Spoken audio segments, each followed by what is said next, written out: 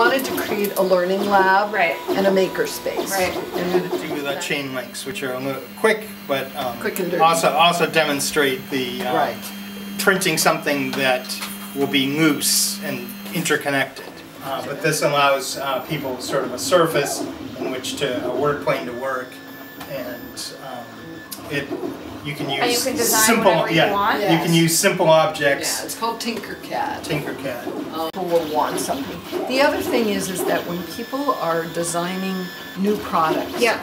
they often want to make a prototype when they're getting ready to do a Yep, patent. makes sense. And so, First people uh, organization to Yeah, have one. yeah. The way you can actually kind of see it working. they can kick the tires. They can kind of kick Yeah. the tires and they can also look at, you know, other things.